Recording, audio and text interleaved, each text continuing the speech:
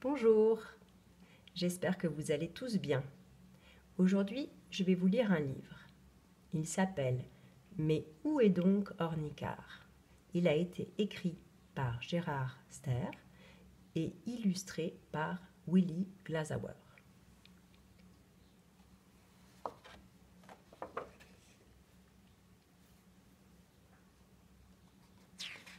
C'est une histoire avec beaucoup d'animaux. Mais où est donc Ornicar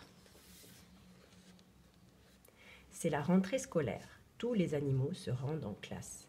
Le chimpanzé, le babouin, le pélican, le chien, la grenouille, le canard, l'antilope, l'ours brun, la chauve-souris, le hibou, les lapins, le panda, la tortue, le chat, le dindon, le cochon, l'autruche, les manchots, l'otarie, les ratons laveurs, les poules, les marmottes, tous se connaissent bien et sont heureux de se revoir.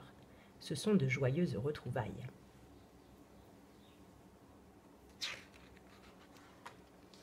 Cette année, il y a un nouveau, un petit animal très bizarre, Ornicar, le petit ornithorynque.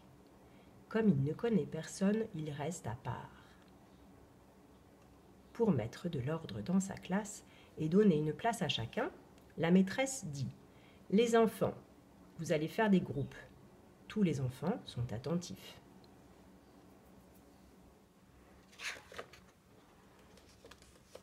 Pour la cantine, ceux qui boivent du lait se mettent ensemble.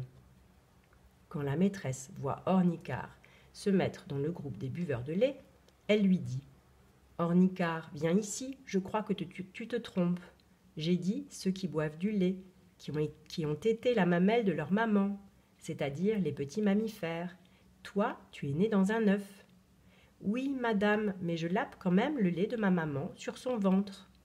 Ah, ça alors? Tu en es sûre? dit la maîtresse. Eh bien, mets-toi au milieu en attendant.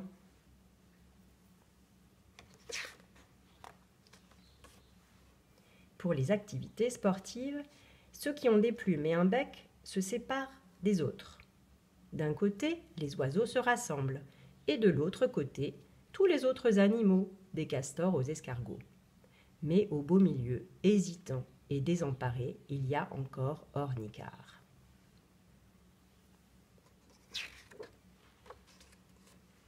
Madame, dit Ornicar, avec qui dois-je me mettre?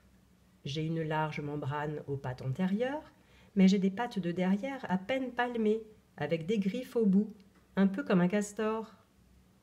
J'ai un bec comme un canard, en plus avec des dents. J'ai de la fourrure comme un ours. J'ai une queue comme une loutre, mais je suis un petit ornithorynque qui ne ressemble à personne. Ça alors, toute la classe est étonnée.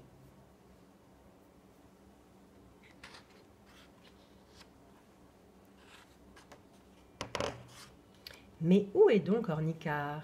Il est vraiment à part la maîtresse va consulter un gros livre sur tous les animaux. Cet ornicar est vraiment un mystère. C'est à n'y rien comprendre, dit la maîtresse. Il lappe le lait de sa maman, comme les petits mammifères. Il est né dans un œuf, comme les reptiles et les oiseaux. Il a un bec et des dents, des pattes palmées et des griffes au bout. Il a de la fourrure. Pendant qu'elle cherche dans son livre, Ornicar sort de la classe. Puisqu'il n'est nulle part, qu'il n'est qu'il n'a pas sa place parmi les animaux, il préfère s'en aller n'importe où. La maîtresse a trouvé. Elle cherche des yeux le petit ornithorynque. Il a disparu. Mais où est donc Ornicar? dit la maîtresse. Toute la classe part à sa recherche.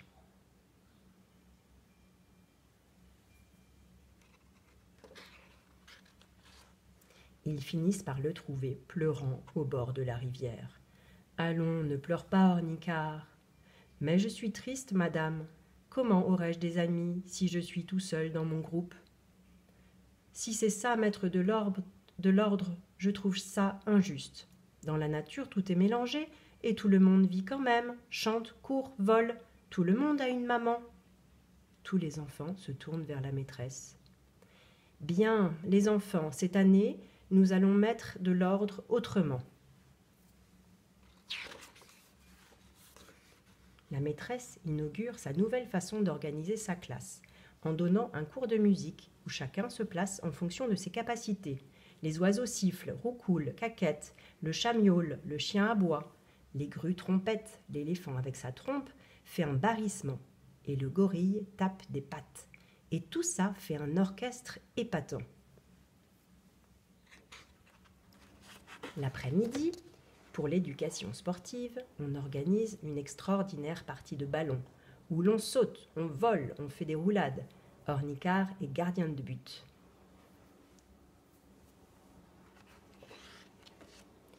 À l'atelier d'expression artistique, en fin de compte, que l'on se serve de sa trompe, de son bec, de ses pattes, de ses griffes ou de son groin, seule la beauté du résultat a de l'importance.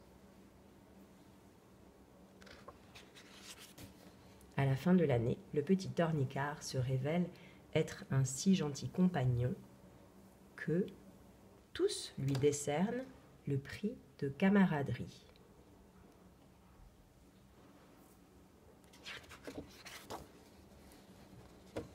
Classification simplifiée des êtres vivants.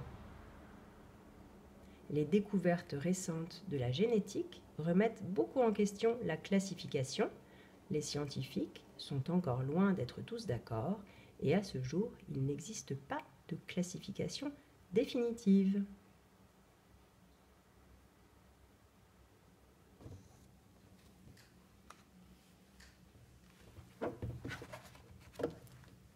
Bonne journée